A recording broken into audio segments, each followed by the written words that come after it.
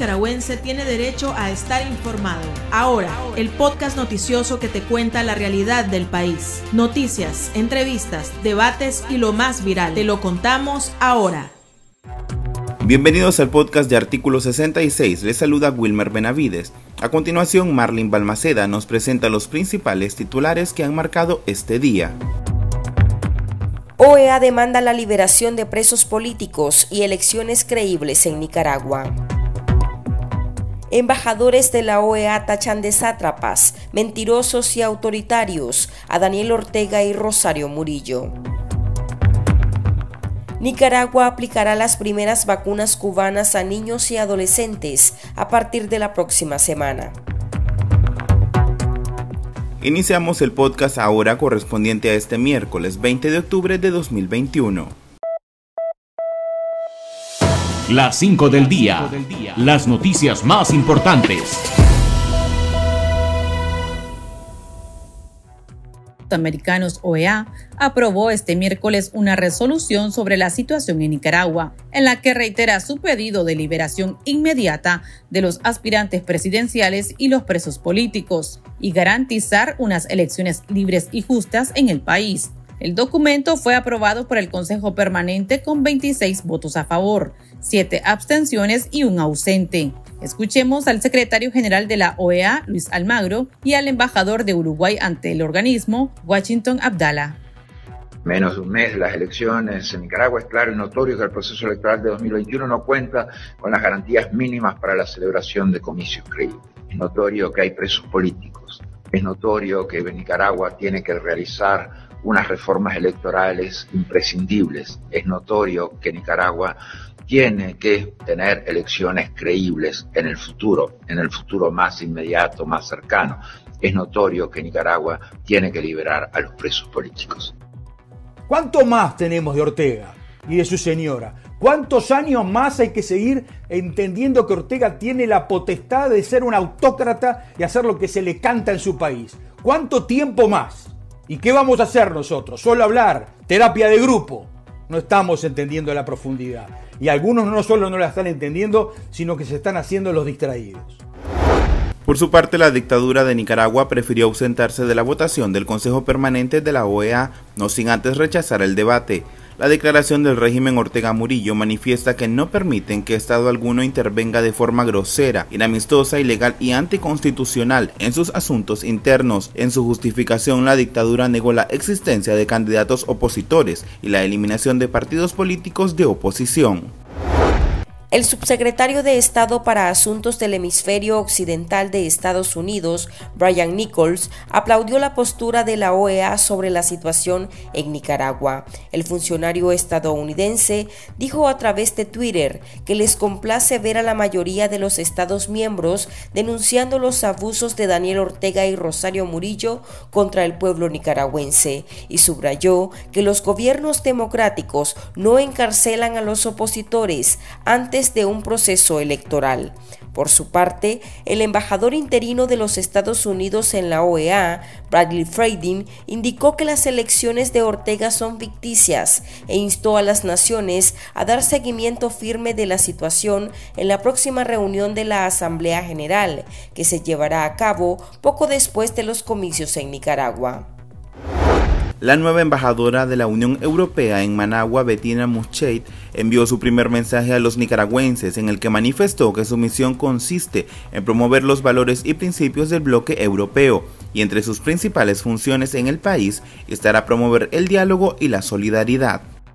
Mi misión diplomática consiste en representar los valores y principios que guían a la Unión Europea y a sus Estados miembros. Respeto de la dignidad humana, libertad, igualdad, democracia, Estado de Derecho y respeto de los derechos humanos. Una de mis funciones principales será promover el diálogo, la solidaridad y los lazos de amistad con todos los nicaragüenses. Seguiremos apoyándoles a enfrentar desafíos globales como la pandemia del COVID-19 y el cambio climático, dos prioridades de la Unión Europea en todo el mundo. Este miércoles arribó al país el primer lote de vacunas contra el COVID-19 que Nicaragua acordó con Cuba. La isla envió un total de 1.200.000 dosis de las vacunas Abdala y Soberana 2, las que se aplicarán de manera voluntaria a menores de edad entre los 2 a 17 años. La vocera del régimen Rosario Murillo anunció que la vacunación para este grupo poblacional arrancará el próximo lunes 25 de octubre. El pulso. Le medimos el ritmo a la realidad.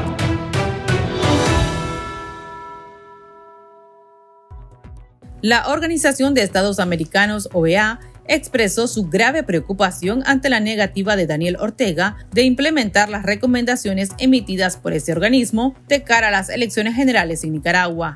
La resolución advierte que se pueden tomar otras acciones en conformidad con la Carta de la OEA y la Carta Democrática Interamericana, incluida una valoración de las elecciones en Nicaragua durante la próxima Asamblea General del organismo, que se realizará en Guatemala del 10 al 13 de noviembre.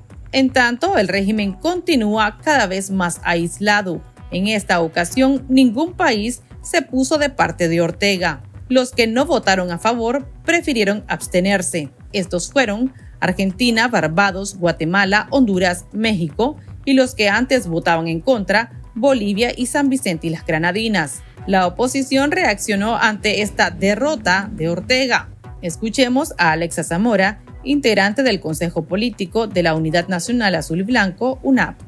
La resolución emitida el día de hoy en sesión ordinaria de la Organización de Estados Americanos, en la cual se hace un llamado al régimen a liberar a todos y todos los presos políticos, pero también a construir un proceso electoral libre, transparente y observado que cumpla con los estándares mínimos en materia de democracia y derechos humanos, además del cumplimiento con los compromisos internacionales adquiridos en materia siembran un antecedente sumamente positivo para la activación de posteriores mecanismos de no darse eh, atención, de no cumplirse con este llamado. Otra cosa que podemos destacar como sumamente positiva es que esta resolución fue aprobada con cero votos en contra, pese a que hubieron siete abstenciones eh, por estados que tienden eh, a votar de esta manera pero también hubo una reacción positiva, hubo votos a favor por eh, estados, por ejemplo, del CARICOM que tienden a abstenerse cuando se emiten ciertas resoluciones. Esto marca un hito sumamente positivo, pero también es un llamado de atención sobre el estado de la democracia y los derechos humanos en Nicaragua, que como se dijo en una intervención de esta sesión, es sumamente alarmante y la comunidad internacional debe expresar su compromiso, debe materializar su compromiso de tomar cartas en el asunto, tal como también lo expresaron. Consultamos a nuestros lectores qué opinan sobre la posición de los Estados miembros de la OEA y cuál consideran podría ser la consecuencia para Nicaragua. Estas son sus respuestas. El chat. Abrimos los micrófonos a nuestros oyentes.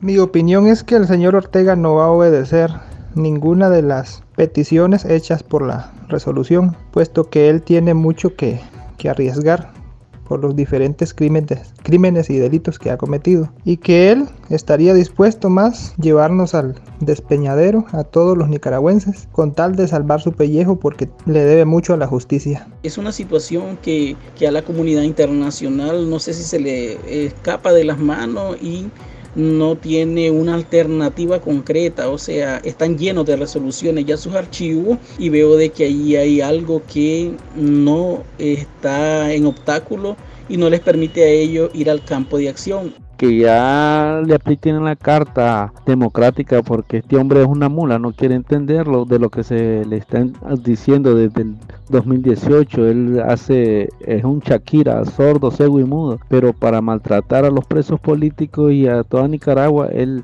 sí entiende, está velando por el colombiano venezolano que está preso, Saab, y no vela por los presos que tiene él.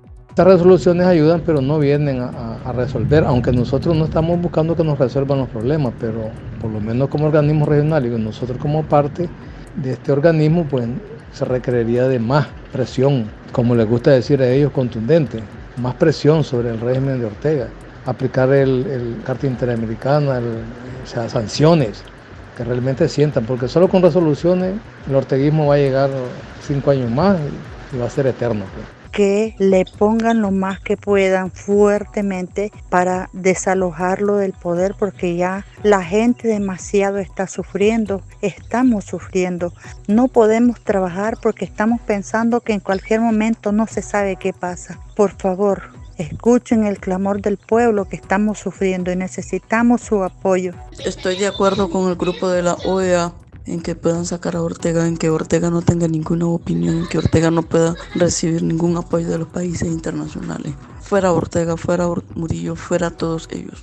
Los presidentes de Costa Rica, República Dominicana y Panamá también se refirieron a la situación de Nicaragua durante una reunión llevada a cabo este miércoles en la ciudad de Panamá, en el marco de la Alianza para el Desarrollo en Democracia. El tema fue incluido en una declaración conjunta de los tres países. Escuchemos al presidente costarricense Carlos Alvarado. Nosotros como países planteamos las cosas en el espacio multilateral, es decir, respetando las reglas democráticas nacionales e internacionales.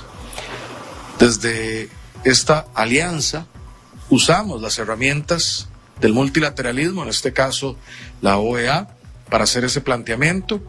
Estamos en esta declaración conjunta señalando nuestras preocupaciones a las garantías del proceso, es decir, desde la óptica de la democracia, un proceso tiene que tener observación, tiene que ser transparente, tiene que permitir la participación, parece elemental, pero en este caso no lo es, de la oposición, y de ahí que pedimos ese, esa liberación de los presos políticos y el restablecimiento de todos sus derechos plenamente. Como democracias, cumplimos en este momento, en este paso, y seguimos nuestro proceso de observación. Vendrán otros momentos en este mismo proceso, pero aquí otra de las acciones centrales que estamos planteando es que ya no, ya no es solamente un pronunciamiento desde República Dominicana o de Panamá o de Costa Rica. Es un pronunciamiento de tres países que en este y en otros temas hacemos un planteamiento. A este momento la situación, ese es el planteamiento que como países democráticos hacemos. Eso es lo que deseamos y deseamos la restauración de la democracia en Nicaragua y esperamos y observamos el desarrollo de los procesos para luego asumir otras posturas, pero creo que en este momento es lo oportuno y lo pertinente es hacer estos llamados que estamos, que estamos llevando adelante conjuntamente. Para estar al tanto del acontecer nacional y conocer las voces calificadas sobre la realidad nacional, ahora el podcast informativo sobre Nicaragua.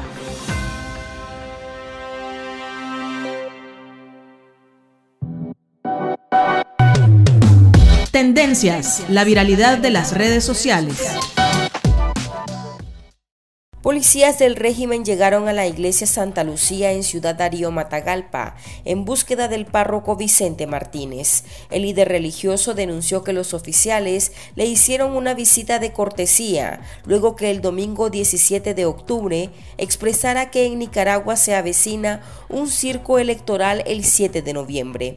El hecho fue catalogado como un acto de intimidación en contra del sacerdote. Sin embargo, el párroco sostuvo que continuará denunciando la corrupción y las mentiras. Tuvimos una visita de cortesía de la policía, ¿verdad? Vino el comisionado de Matagalpa, vino el de aquí de Darío, andaba en una camioneta particular. Usted sabe que esas visitas de cortesía son peligrosas. Pero recuérdense, hermanos, que yo no voy a callar las injusticias. Las corrupciones yo no las voy a callar. Recuérdense que ya sabemos, este circo electoral es una realidad que nadie lo va a aprobar y ellos andan, andan buscando cómo la iglesia apruebe. Supuestamente dice que andan visitando todos los párrocos, todos los sacerdotes de la diócesis y yo he, he preguntado a otros sacerdotes y me han dicho que no, o sea que la visita fue directamente a mi persona. Uno ya sabe más o menos por dónde ve el camino, ¿verdad? Entonces siempre les recuerdo sus oraciones, porque recuerden que yo me muevo por las comunidades, ando evangelizando, ando visitas pastorales, por lo tanto recuérdense, las elecciones son una farsa. Ningún nicaragüense, ningún católico, ningún patriota verdadero va a aprobarlas, porque ya sabemos cuáles son los resultados. Las intimidaciones siempre se dan, pero recuerden que la voz de la iglesia, la voz de los profetas, la voz de los cristianos no la van a callar. Siempre tenemos que denunciar el mal, le duela a quien le duela. Aquí termina el episodio de ahora de Artículo 66. Continúe informándose a través de nuestro sitio web www.articulo66.com. Síganos en nuestras redes sociales, nos encuentra en Facebook, Twitter e Instagram y suscríbase a nuestro canal en YouTube. Hasta la próxima. La información veraz y de primera mano está ahora. No te perdás el podcast noticioso que te cuenta la realidad del país. Compartí y pasa la voz.